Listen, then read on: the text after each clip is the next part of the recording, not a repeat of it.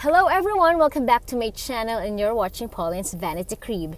And today's video is all about gandang sunscreen lang. Yes, you heard it right. I will be doing my quick summer makeup look and I'll be using today this Bella tinted sunscreen. So to know more about this guys, please do keep on watching.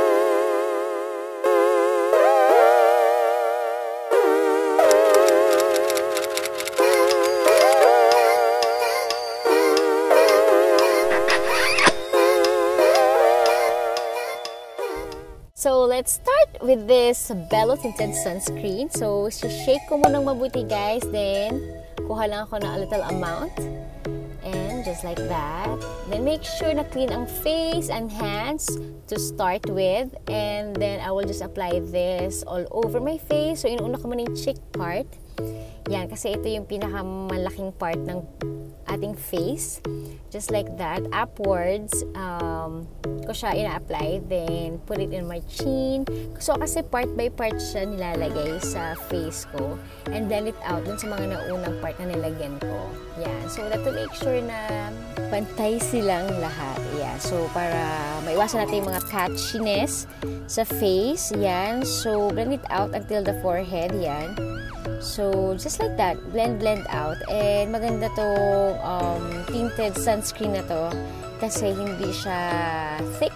It's very lightweight and mabango siya, guys. Hindi siya parang sunblock talaga. Kasi di may mga amoy yung sunblock.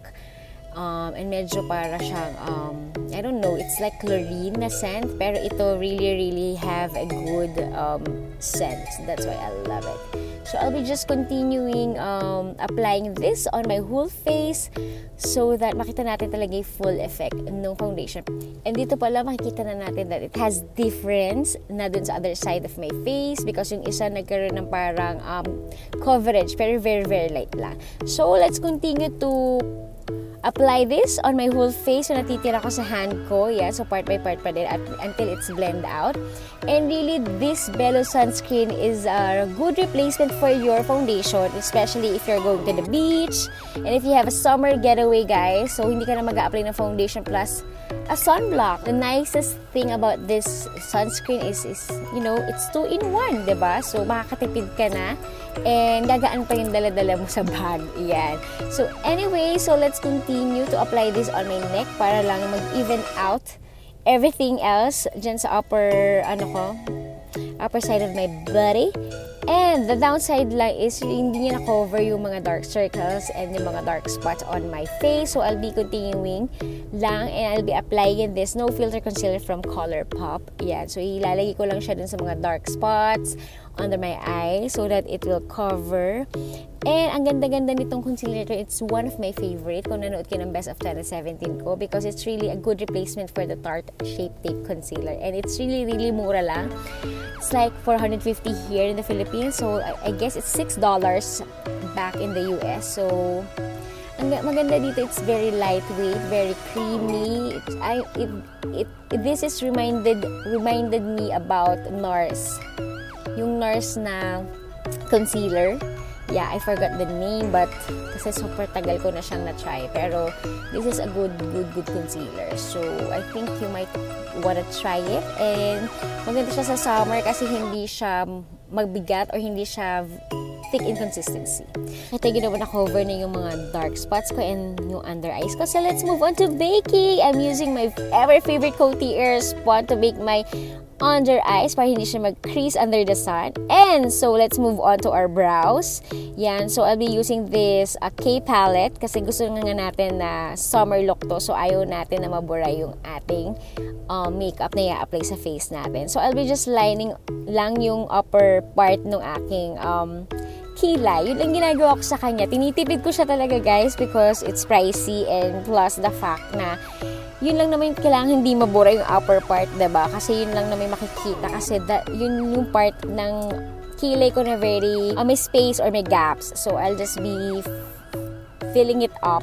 Yan. So, para hindi siya halata and yeah. So, I'll be continuing to use this um, Benefit. Parang precision pencil siya. Ito naman yung pang fill in ko sa iba, sa gitna na part ng kilay ko.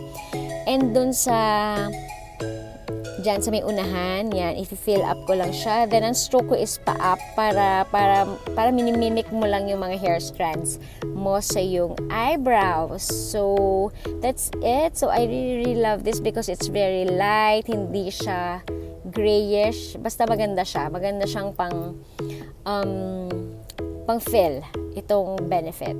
So, I'll be using a spoolie lang to brush lang upwards yung aking mga hair strands And then, let's move on to the 3D brow tones. Ito yung aking brow cara na ginagamit. It's very, very um, natural yan. So, and talaga may in place na yung mga hair mo. Hindi sila magkakagulo dyan. Kasi ba ayaw naman natin na gulo-gulo ang ating hair. Okay, so let's um, wipe out yung pinang-bake natin na Coty Airspun. Yan. So, And then, let's move on to the bronzer. So, I'll not be using any um, contour, pero bronze lang. Siyempre, gusto natin na medyo may pagka-sun-kissed yung dating ng ating face. So, I'm using the Melanie na Dolce, Dolce Vita. Yan. So, I'll, be, I'll just be applying it to my um, contouring part area. Yan. So, blend it out lang until it becomes soft and natural ayaw naman natin na para nakalinya lahat nung pinag-bronze natin all over our face.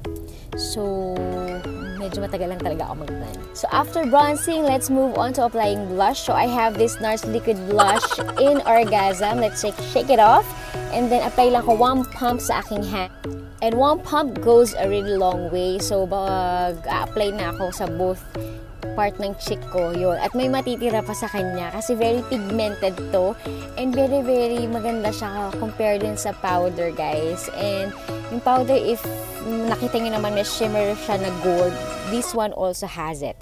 So, I really love it. I really love liquid blush or I really love tinted blushes.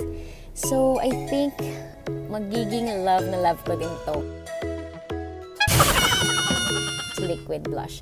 So, di ba, kita nyo naman, na-shock ako dahil sobrang pigmented niya. That's why I love it. So, let's move on, guys, in applying some contour on the nose. Bronze lang itong ginamit ko para lang may, mayroon lang akong nose dyan. And then, I'll be applying this Laneige Two Tone na parang lip balm pero meron siyang tint and it's really natural. So, huwag na tayo mag-matte lipstick if we're going to the beach. Um, a very, very light lang na lipstick will do everything. Yan. So, let's move on in, in curling our lashes kasi gusto lang natin mag-pop yung eyes natin. So, I'll be just curling my lashes using this Shuyu Mura Eyelash Curler, my ever favorite, ever, ever, ever since. And sa lashes naman, dalawa lang favorite ko eh. And this is, one of this is yung mascara. Yan. I'm applying this mascara, the Heroin Make. Wala na akong ibang mascara, guys. I tried I tried yung iba pero dito lang talaga ako bumabalik. And another thing to add on my eyes lang is the shimmering effect lang under yan my eyes. So that's to complete the look of my quick summer makeup look. So I hope you like it guys. And this is my take on dun sa Bello Tinted Sunscreen. And nakita nyo naman that really a good replacement for your foundations during this summer season. So if you if you like this video, so give me some loving by liking this. And syempre guys, don't forget to subscribe if you haven't already. Leave me some comment down. And see you on my next video. Bye!